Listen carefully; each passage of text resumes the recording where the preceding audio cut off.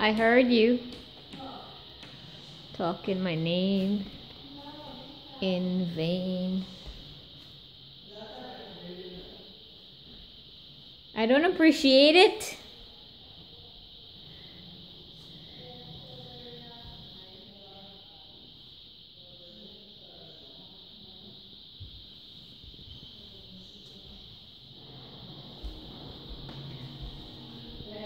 Yes.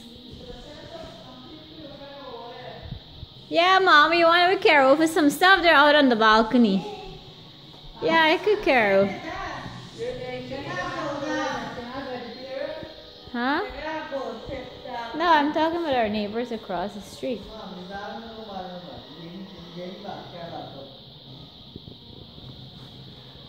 Yeah. You should. I'm so happy. Huh?